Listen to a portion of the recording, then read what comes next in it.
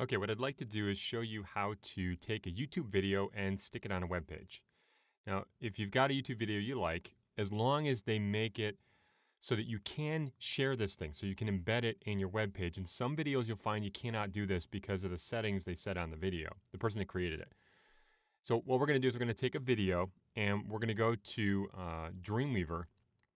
And with Dreamweaver, I'm going to just open up a web page and just literally show you how to paste it on the page, which is kind of cool. So let me go back. Find the video that you want to put on your web page. Scroll down a little bit, you're going to see a button called Share. Now, like I said, you may not be able to do this with every video. If I click Share, you'll see we get a link.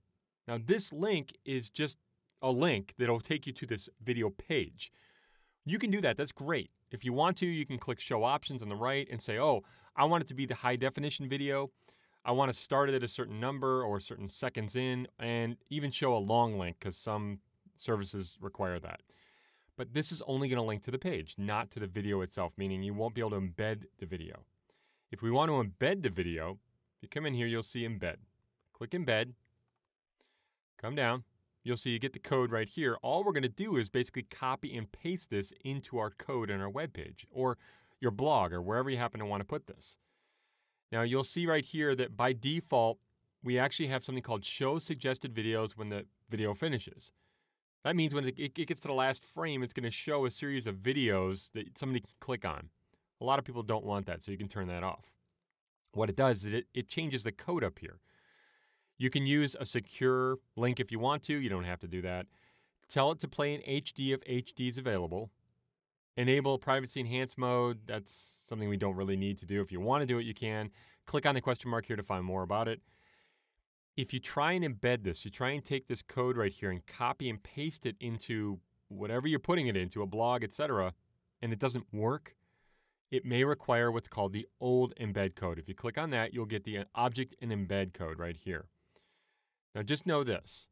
The old embed code typically doesn't create a video, doesn't work on iOS devices like uh, Mac, like iPad, and things like that. If you turn off use old embed code, the iframe is going to create what's called a, like a sort of like a sniff. It's going to determine what player it's playing on or what it's playing on, and even play HTML5 or play the old school. Okay.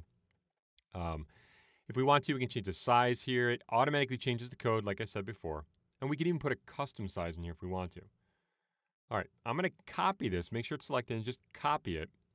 I'll go over to Dreamweaver, find where I want to put it on the page. Let's say I want to stick it right here, okay? I'll go to Split Code View, and I can see right here in the code, that's where I put my cursor, right below that heading. I'll just replace this, I'll paste. There we go. Now, make sure you've got Live View selected. I'll click on Live View, and you can even refresh it if you need to, refresh. And if I go back to design and take a look and scroll down, you'll see there it is. Now, if I click play, it'll do it. It'll play in place. And there we go. All right, now, a couple things we can do to make this better for ourselves if we want to. You'll notice it's got uh, some content up here, some information about the video. It's got like the YouTube icon. It's got the video, uh, the, the player bar showing automatically. It's not playing in HD. You're going to see there's HD right there. So what we can do is we can change this a little bit. I'm going to show you how to work with what are called parameters. So if I go back to code, now I'm going to kind of spend my time in split view here. So click on split. I'll go to the iframe here. You'll see there's the code. And what I'm going to do is I'm going to make this a little bit bigger for you just so you can see it. Sorry, it's a little small. All right. Now let me find the iframe code again. There we go. Now if you look in here, you'll see that, let me actually switch this. I'm going to switch uh, views. There we go. Make it a little bit easier for you to see. I'll scroll up. There. Now you'll see that we've got this iframe thing. We've got a width and height. You can change that, obviously. Keep its proportions, though. And you'll see we get this right here. This is the source. We've got all this stuff right here. You'll also see allow full screen and a couple things. Now what we can do is we can set our own parameters at the end here. Here's how that works. You're going to see like a, a question mark and then rel equals zero and you get like an ampersand and then stuff and then this sort of thing. If you put your cursor after the amp right there, let me go over to the browser again. Oops, let me go over to the browser again. And I go to this page. If you search for YouTube APIs and tools, you're going to see what are called player, player parameters. Now, what we can do is we can change how the player looks and works. This is really pretty cool. And it's not that hard, to be honest. If I scroll down, you're going to see all of the player parameters are right here. Now, these are for the ActionScript 3 or the AS3 players. If you want to, you can tell it, show me the parameters for AS2. Those are the object embed ones, and HTML5. Okay? You don't have to worry about that. Don't worry. You're going to see right here, we get things like autoplay. If you want it to automatically play, you can put autoplay in there and set its value to 0 or 1. So here's what we do. I'm just going to take autoplay and copy it. You can type it in too. It's pretty easy. I'll go back over to Dreamweaver, put my cursor right here after amp. I'll literally put an ampersand, paste autoplay, equals, and if we put 1 in there, it's going to automatically play. So if I go to Design View, take a look at it, you're going to see it's automatically playing right now. So I'm in live view up top. That's live view selected. let me go back to split and I'm going to stop it. Now you'll notice we have some information up here I want to get rid of. We also have branding on this thing where it says YouTube and the player shows up automatically. I want to get rid of that stuff too. So if I go back to the browser, scroll down a bit, you're going to see some really cool ones here. You're going to see controls. You can say, uh, do you want the controls to display?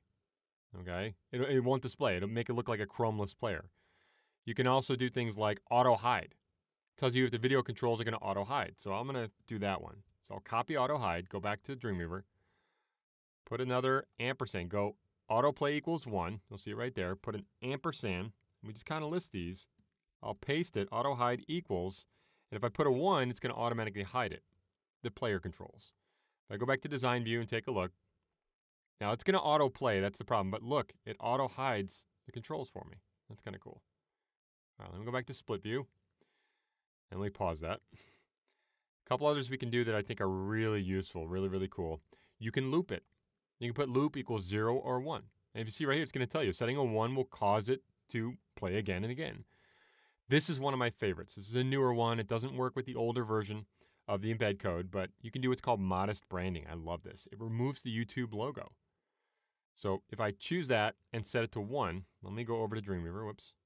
Once again, find auto hide equals 1. I'll put an ampersand, I'll paste, equals 1. I'll go to design view, and let me hide the property panel here. And you can kind of see it a little bit more. It's auto playing. It's going to take a second here. It's going over the internet. Maybe. Let me pause it and then I'll play it again. And let me just hover over. You're going to see, if you look, no more YouTube logo down here. That's kind of cool. But if you do pause it, watch what happens. I click in the middle here and I pause it. You will see a little YouTube right there. Okay. Now we can get rid of this information too. So if I go to split, go back over to here to parameters, you're going to see we have like show info. I love this one. So I'm going to copy show info, go back over to Dreamweaver, find one of these. They don't have to be in order. So you can put it in here anywhere. Ampersand paste equals, and what we can do is put a zero to not show the info. Go back to design view. Now it's trying to play automatically. And you can see I, I must have messed something up here because it's showing the actual content there. Sorry, but it's taking a little bit. Uh, let's let it play and show. And there we go. You can see it's gone. Okay. Now I must have hit something here with this. You always got to make sure that these are working properly and show info equals zero and modest branding equals one. Now this is the thing I always have to look at. Modest branding, it says, it says set the parameter to one to prevent YouTube loading from doing a control bar. Okay. Note that a small YouTube text label display in the upper right corner. So if you do hide, it's going to show the logo down here. If you hide the content up there, it's going to show this. So unfortunately. So anyway, there's a lot of parameters we can work with. A lot of things you can do. Really cool things. There's some example usages on this page, et cetera, et cetera. But if you want to embed a YouTube video, you can do it pretty easily just by copying and pasting. And you can kind of set a lot of different parameters for how you want it to show and even start to strip out some of the formatting and some of the things that show up automatically. So anyway, there you go. There's how to put a YouTube video on a web page.